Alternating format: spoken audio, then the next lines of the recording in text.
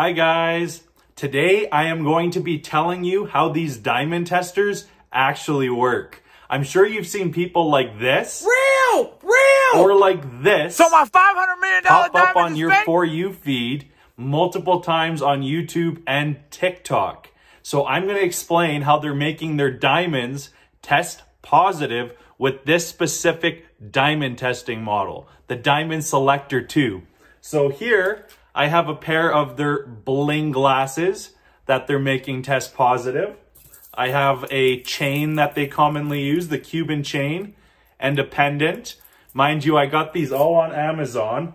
I also got the big diamond that you see them posting in all their videos. And I have, uh, yeah, a plate of diamonds with a chase card. Okay? So how these diamond testers work is they're based on how well an object conducts heat. Okay? So I'm to start off with the blatantly plastic glasses. Okay? You have to calibrate the diamond tester. Okay? Usually it's right around there. And then you press it to the object with that metal tip. Okay? As you can see, nothing happens. Okay? And now we're to go right into the chase card. Okay? This was $70 on Amazon. Okay? The back of it's metal. So don't miss this. Your mind's to be blown. Okay. So here's the diamond tester. Would you look at that? It tests real. Okay? So what these guys are tricking you into is they're pressing the diamond tester, as you can see here, in between the diamonds. So like I said, this is fake, okay? And it tests real. I'm also going to bring up the big diamond, okay? The big diamond you see a lot of these guys on TikTok using.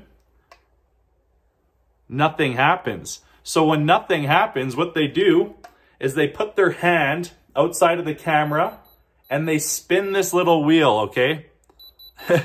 they will spin the wheel to make it test positive. Like, look, I can make the air test positive. okay, I've got a few more things here. I've got this pendant. Obviously, it's going to test fake.